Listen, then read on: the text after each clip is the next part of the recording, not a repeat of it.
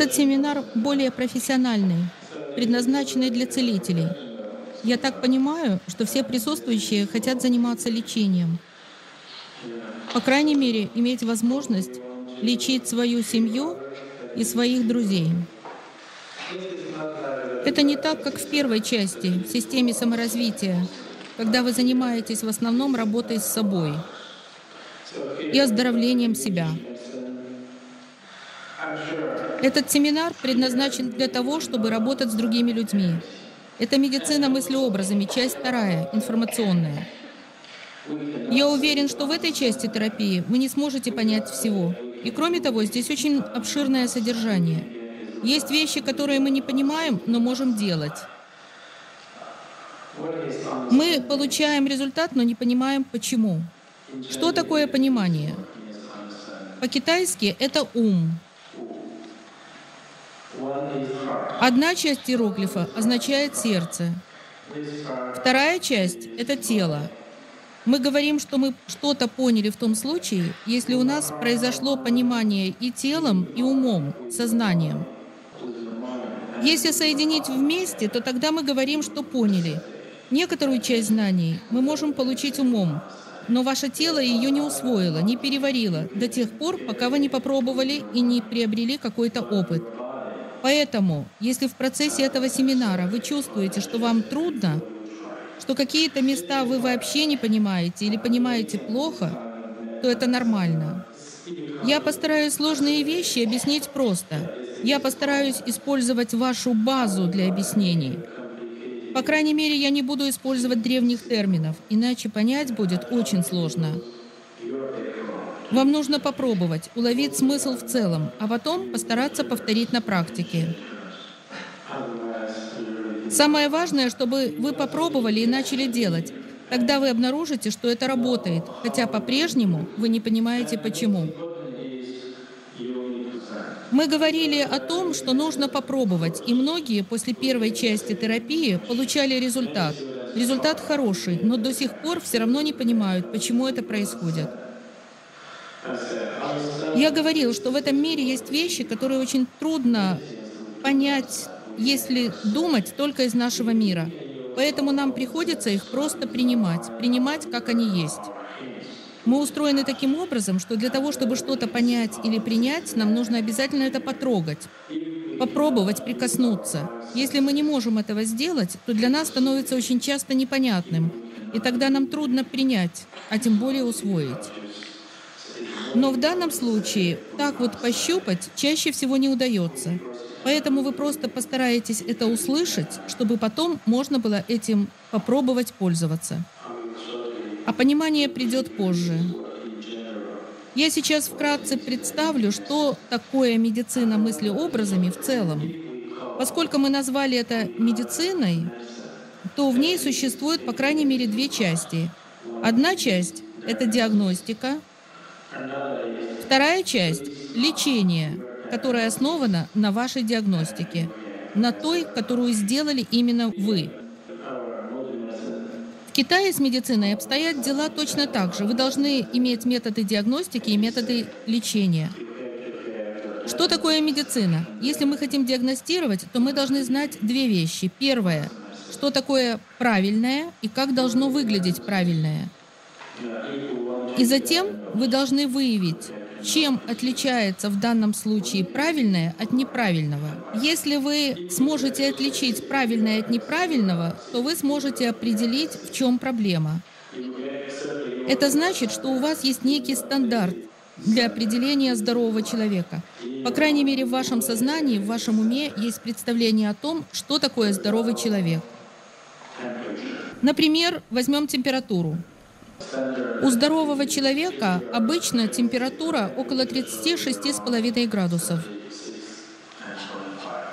Если температура выше 37 градусов, то мы говорим, что она повышена. Аналогичный стандарт касается и других показателей, например, кровяного давления. Но это показатели, которые мы измеряем с помощью различных инструментов – в медицине мысли образами мы не измеряем ничего, и таких инструментов не существует. Поэтому у нас должны быть наши собственные методы диагностики. Лечение, как я уже говорил, базируется на диагностике.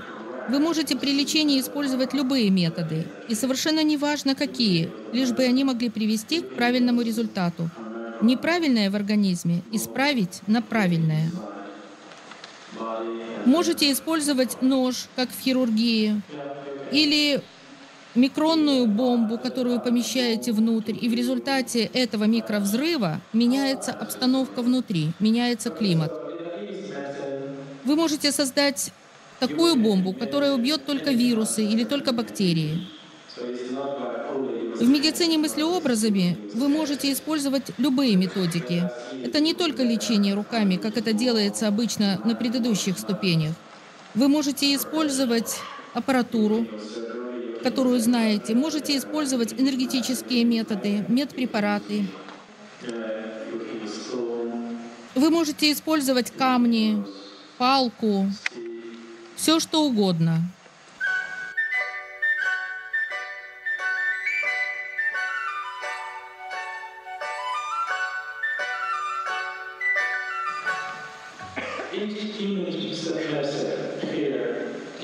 Мы разделили медицину мыслеобразами на четыре части для того, чтобы было легче ее изучать. Первую часть можно назвать энергетической медициной. Это направление, это ось энергии. В прошлом году у нас был семинар по этому направлению. У нас проходили эти семинары в России и в Украине. Вторую часть мы назвали направлением, которое, вот вы здесь видите, оно обозначено синим. Это ось информационная. Эту часть можно назвать информационной медициной. И в эти несколько дней семинара я буду вам представлять именно это направление – информационное или духовное – Третью часть медицины мыслеобразами мы можем назвать медициной субстанции, вещества. У нас три базовых направления, связанных с энергией, с веществом и с информацией или духом. Конечно, у каждого раздела свои методы лечения. У них свои методы и для диагностики, и для лечения. Четвертая часть, более глубокая, получила название мыслеобразами – Одновременно она связана со всеми тремя предыдущими и работает сразу во всех трех направлениях. Она развивает взаимоотношения между различными видами жизни. Это модель. Вот это поток жизни. Если мы работаем с каким-то индивидуальным объектом, то тогда вот эта модель годится в качестве модели жизни.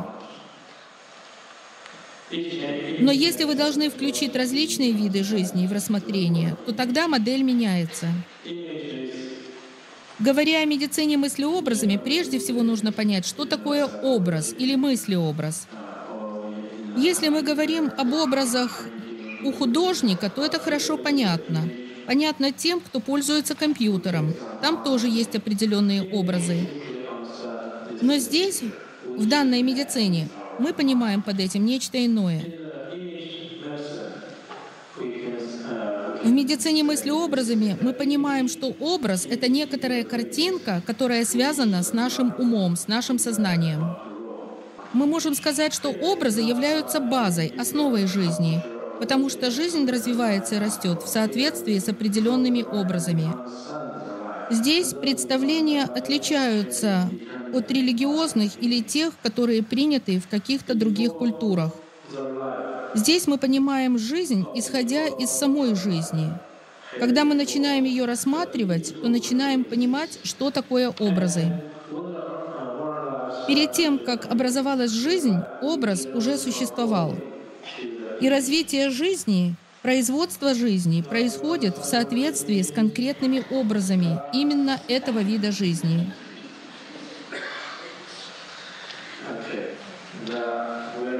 Понятно теперь, что такое образ?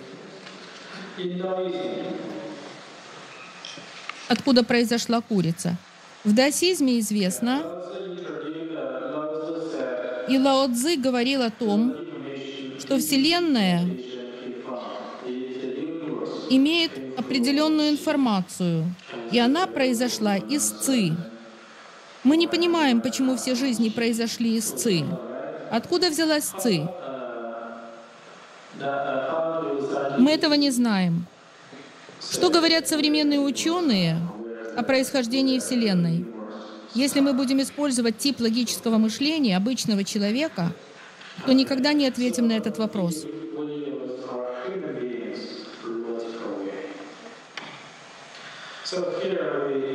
Попробуем по-другому это рассматривать. Например, если задать вопрос, что было до появления той Вселенной, которую мы видим сегодня?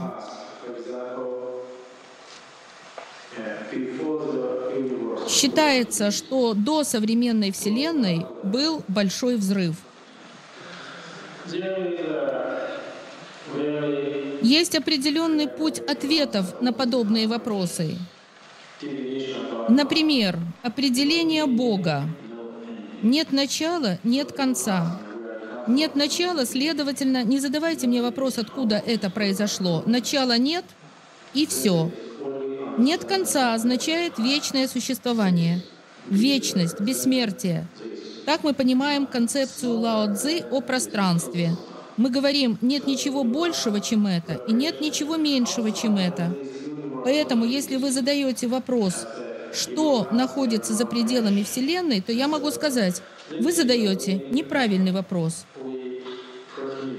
Это определение, при котором мы отрицаем все возможные вопросы такого рода. И это именно вопросы, на которые мы не можем ответить, и автоматически оказываемся в неком замкнутом кругу. Вопросы из него нам уже понятны. Это как, например, вопрос, о котором я говорил. На семинаре на этом вы не сможете понять всего, потому что я сам не все понимаю из этой темы. Мы не можем понять всего. Начиная с того, какое место, какое положение мы занимаем в этой Вселенной. Мы являемся одним из видов жизни этой Вселенной, и мы будем стараться использовать наши каналы восприятия, наши чувства, наш разум для того, чтобы понять, что собой представляет этот вид. Итак, наша база — это информация о том, что мы являемся одним из видов жизни на Земле, которая занимает определенное место во Вселенной. А потом, когда мы начинаем практиковать и входим в состояние глубокой медитации, мы начинаем понимать, что если происходят некие изменения с жизнью, то они основаны на определенных образах. Лао Цзэ говорил о том, что энергия породила трех богов, которые потом дали жизнь. В конечном счете мы приходим к пониманию того, что жизнь основана на образах. Поэтому не задавайте мне вопрос, Откуда появился образ Вселенной? На этот вопрос я определенно не могу дать ответ. Мы должны просто отдавать себе отчет, что мы являемся видом жизни на Земле, которая занимает определенное место во Вселенной. И с помощью наших пяти привычных каналов восприятия и органов чувств мы можем понимать некоторые вещи. А когда в состоянии глубокой медитации у нас появляются дополнительные каналы восприятия, которые позволяют видеть или чувствовать определенные образы, то, исходя из них, мы можем понимать и видеть и чувствовать, какой образ соответствует здоровому состоянию организма, а какой больному. Что такое здоровый человек и что такое больной человек.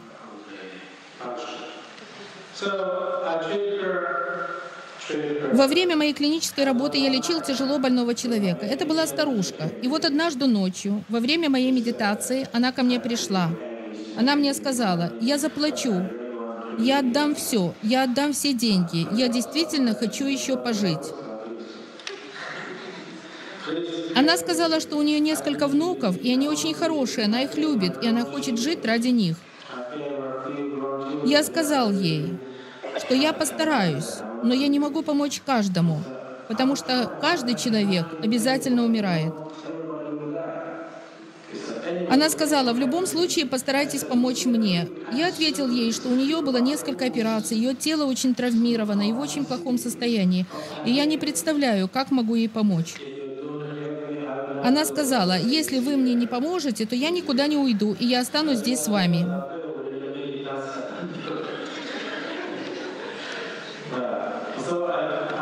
И тогда я начал думать, что же я могу в этом случае сделать. И я подумал, почему бы мне не отправиться в то место, которое является природой человечества. Может быть, оттуда можно найти помощь. И я сказал ей об этом. И мы отправились туда. Может быть, там они помогут. Это было что-то вроде сна или глубокой медитации.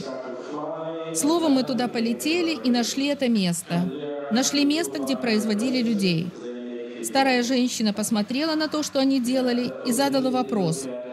«Можете ли вы мне помочь и продлить мне жизнь?» Один человек посмотрел на нее, потом осмотрел и сказал, «Почему ты так любишь свое старое тело? Посмотри, здесь есть молодые, очень красивые, хорошо выглядящие тела. Ты можешь использовать любое из них». Она сразу задала вопрос, сколько мне нужно за это заплатить?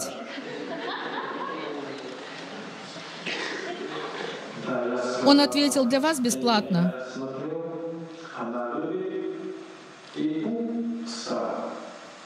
Она согласилась попробовать и соединилась с этим телом. И она сказала, да, я чувствую себя очень хорошо, в нем очень приятно. Она согласилась оставить себя в этом теле. Потом она спросила, куда мне теперь идти. Я у нее спросил, вы хотите идти домой? Она подумала, огляделась и сказала, нет, я хочу сначала посмотреть, что тут делается, а уже потом уходить. Я ответил, хорошо, ты можешь тут остаться, а я должен возвращаться. Утром я позвонил ей домой, мне сказали, что она ночью умерла. Итак, откуда же происходит жизнь? В тот момент я действительно не осознавал, что она умерла, но у меня было несколько таких примеров, подобных этой старушке, и они были связаны с реинкарнацией, с некоторыми другими вещами. Поэтому, если мы действительно хотим иметь дело со своим здоровьем, нам нужно научиться понимать, что такое жизнь. Иногда у нас действительно нет метода помощи физическому телу, если время его истекло. Иногда мы очень хорошо можем помочь, потому что в этом случае физическая проблема является только следствием. Следствием проблемы с информацией. Была у меня и такая ситуация, когда тяжело больного человека медицина приговорила. Она говорила, что он сможет жить очень короткое время. Но с точки зрения медицины мыслеобразами можно было увидеть, что основная проблема кроется в информации или в душе. Тогда можно восстановить жизнедеятельность человека. На физическом плане все выглядит очень плохо. Но если уменьшить боль пациента, улучшить э, его информационные проблемы, то тогда начинают улучшаться физическое состояние и уровень его энергии. Тогда человек может продолжать жить. Что касается времени и пространства, то у нас существуют две концепции. Время в нашем мире и в других мирах различно. Иногда с помощью медицины мыслеобразами мы можем несколько изменить время. Например, кто-то умирает или уже умер. Тогда с помощью методов медицины мыслеобразами мы можем произвести изменения во времени таким образом, что тело снова оживает, и человек может жить далее и еще несколько лет. Я уже доказал, что этот метод работает, что он справедлив, но, конечно, это пригодно не для каждого случая. Это связано с другими законами Вселенной, и это зависит от нашей миссии, от судьбы. Когда мы говорим об энергетическом направлении, то представить его и объяснить себе намного легче, так как здесь методы воздействия понятны. Когда мы говорим о духовной составляющей, об информационной, то представить это и объяснить намного сложнее. Перед тем, как я приехал в Украину, в Пекине, в последнее время моего пребывания там, я встречался с президентом больницы для слепых. Он занимается массажем. В Пекине есть больница, где все врачи, все специалисты слепые. Он попросил меня провести семинар для слепых врачей. Семинар по методам лечения. Я подумал, как это делать, и сказал, не сейчас, возможно, в апреле. Потому что другой профессор, который проводил у них семинар, объяснял, как чувствовать болезнь руками, как определять пальцами руки нарушение костной ткани при массаже и других проблемах. Если я буду обучать их медицине мыслеобразами, то прежде всего они не могут видеть.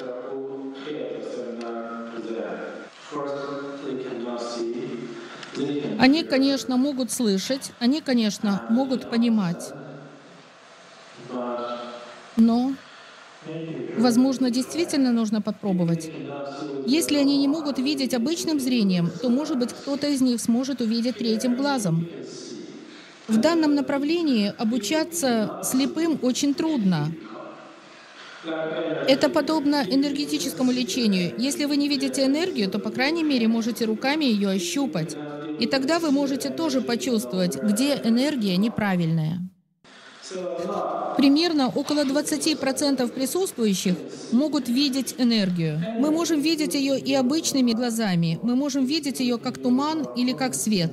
Поскольку мы используем наше обычное зрение и можем видеть свет, то когда речь идет об энергии, мы можем также видеть свет.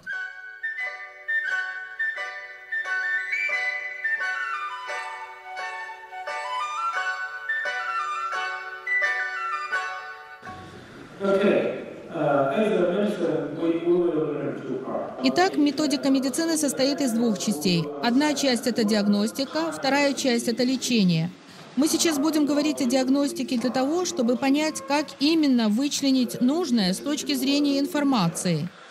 Мы будем учить, как развивать третий глаз, как заниматься им для диагностики. И в то же самое время мы будем продолжать развивать второе сердце. И если третий глаз будет работать совместно со вторым сердцем, то мы сможем выявлять информационные проблемы.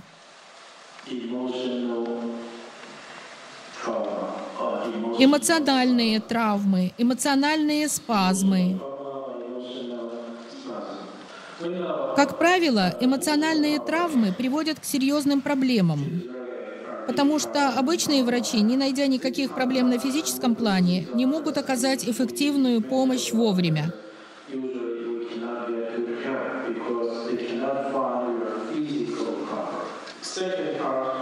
Вторая тема, вторая часть — это использование третьего глаза и второго сердца для выявления психологических проблем.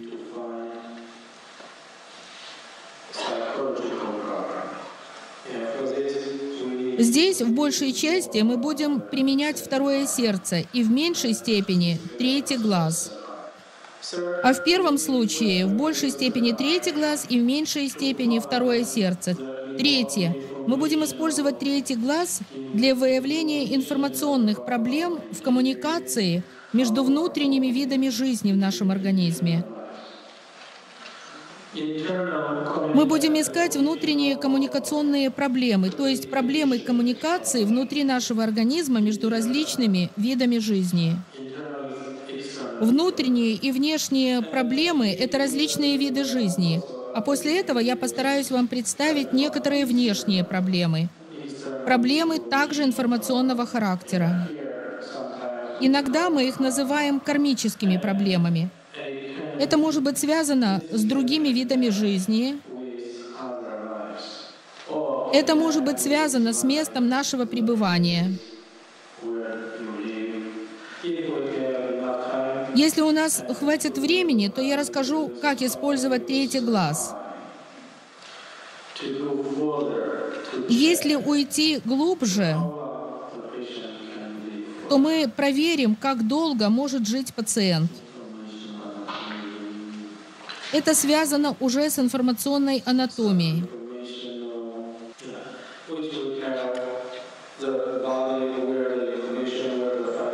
Итак, информационная анатомия, можно сказать, зависит от информации, которая находится внутри тела. Мы будем рассматривать информационную анатомию и физиологию, то есть воздействие на организм и что именно они контролируют в организме.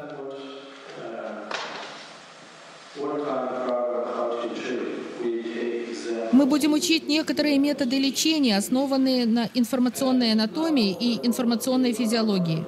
Для того, чтобы лучше понять, какого рода проблемы встречаются и какие методы лечения мы используем, Я покажу вам несколько примеров. Сейчас во всем мире существуют очень серьезные проблемы, связанные с эмоциональным состоянием. Иногда мы встречаем проблемы кармические и проблемы, связанные с внешней информацией, но их немного. Поэтому в вашей работе вам чаще всего нужно будет научиться лечить эмоциональные проблемы. И именно поэтому мы сфокусируем внимание здесь на эмоциональных проблемах. Э, второе, чем мы будем заниматься и что очень полезно, это разбор внутренних коммуникационных проблем. Что касается внутренних проблем коммуникации, то при проверке физического состояния тела никаких нарушений выявить не удается, но функции при этом нарушаются. Например, ночью мы должны спать и не просыпаться, особенно для того, чтобы посещать туалет. Но если нарушена правильная взаимосвязь между почками и мочевым пузырем, то почки все время работают, и вам придется регулярно посещать туалет – даже ночью. Также, если нарушена правильная связь между желудком и языком, то вы будете всегда испытывать голод и хотеть кушать. Кушать и кушать. Внутри вашего тела различные органы имеют определенные связи. Если эти связи нарушены или заблокированы, возникают проблемы. Иногда связи могут быть прерваны на какое-то время. Они могут быть нарушены из-за психологических проблем. Здесь мы будем рассматривать характер внутренних органов. У каждого внутреннего органа своя природа и свои характеристики. Если эти свойства меняются или проявляются иначе, это говорит о том, что с данным органом существует проблема. Рассмотрим заболевание сердца. Это может быть замедленное сердцебиение, например, 30-40 ударов в минуту. С точки зрения современной медицины, если количество ударов меньше 40, то обычно применяют кардиостимуляторы для учащения ритма сердца. Мы будем говорить о том, как лечить такого рода проблемы с сердцем. Большинство этих проблем относится к информационным заболеваниям. Рассмотрим такие симптомы, например, как головную боль, повышенное кровяное давление. Для этих заболеваний истоки или причины могут быть и проблемы физического тела, и энергетической системы, и информационной системы. Почему мы не можем в достаточной степени помогать пациенту в этом случае? Потому что мы занимаемся лечением их по тем канонам, которые учили. Мы не различаем истоки одного и другого заболевания. Например, если у человека высокое кровяное давление, то причины могут быть разные. Это может быть э, эмоциональное состояние, это может быть причина, связанная с нервной системой. Причина может быть в нарушении циркуляции крови, Причиной может служить заболевание почек. Разные причины могут провоцировать одни и те же симптомы. Поэтому нужно сфокусироваться на диагностике. Мы должны развивать диагностические способности, а это мы должны делать с помощью третьего глаза и второго сердца. Если вы зададите вопрос, как лечить высокое кровяное давление, то я скажу, отправляйтесь домой, похлопайте и побейте стопы ног. Это правильно? Да, правильно, потому что 5% людей при этом избавляются от этой проблемы. Мы можем сказать, что это простой метод для быта, но для профессионального лечения этот метод неправильный. Может быть, вы были очень взволнованы в это время, и это вызвало резкое повышение давления. Может быть, вам нужно просто порекомендовать спокойно полежать, немного полечить почки и прийти в состояние успокоения и тишины, и давление опустится. Поэтому здесь, по терапии мыслеобразами, вы должны изменить свой способ мышления. Вы должны отойти от медицинской терминологии, по крайней мере, в отношении названия заболеваний. Вы должны посмотреть на все это с другой точки зрения, процессов, которые происходят внутри нашего организма. В первой части мы должны были подходить к рассмотрению нарушений в организме с точки зрения энергии. Во второй части мы будем рассматривать это с точки зрения информационной системы. И кроме того, как я уже неоднократно повторял, в медицине мыслеобразами у нас должен быть другой подход в общении с пациентами. Когда к вам подходит пациент, вы должны его смотреть, и сначала вы должны рассказать, что с ним не в порядке. И после этого только вы можете высказывать свои симптомы и выслушивать жалобы пациента. После этого вы вместе с ним обсуждаете совместно его проблемы. Например, вам приходит пациент, вы на него смотрите и говорите, из того, что я вижу, энергия печени у вас поднялась вверх в область головы и постоянно там находится. С точки зрения пациента, он приходит с жалобами на высокое кровяное давление и регулярные головные боли. И тогда вы пациенту говорите, ваши симптомы – это высокое кровяное давление и головная боль. Они связаны именно с проблемами печени и энергией печени. Поэтому, если вы будете лечить печень, то ваши головные боли уйдут и давление понизится. И тогда вы займетесь лечением печени. Это значит, что ваш диагноз правильный, и вы нашли причину высокого кровяного давления. Совершенно неважно, с какого рода проблемами придет к вам пациент. Вы должны провести проверку в соответствии с тем, что видите с точки зрения энергии и информации. Потом вы должны сравнить это с тем, что говорит пациент, и тогда прийти к заключению о его проблеме и как проводить лечение. Но нам нужно получить некоторые простые методы лечения, которые вы сможете использовать. Когда вы попробуете это и получите результат, тогда вы поймете, как это делать. В терапии мыслеобразами известно, что жизнь основана на образах. Первое, что мы можем видеть, используя свои каналы восприятия, это вещество. Вещество — субстанция, которая отражает свет. Обычными органами чувств мы можем видеть свет.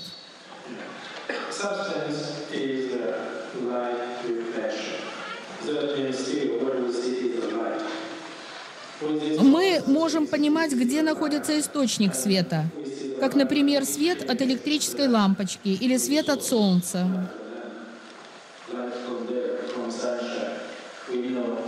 Если свет отсутствует, то мы не можем видеть.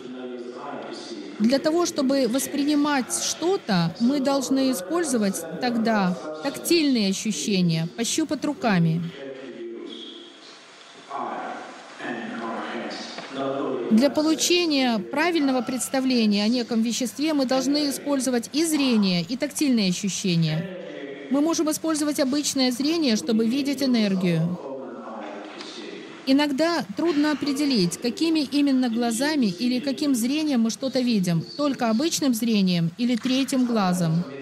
Или совместно и тем, и другим. Во время глубокой медитации видели ли вы туман, который вас окружает? Это энергия тумана. Мы дали этой концепции такое название. Мы назвали это энергией тумана, потому что можем контролировать его своим сознанием. Например, я могу взять эту энергию тумана с гор и наполнить ею зал, и вы сможете ее увидеть. Вы можете обычным зрением видеть ауру, окружающую голову или тело человека. Если мы не будем двигать глазами, а сфокусируем свое зрение, то сможем увидеть ауру вокруг тела.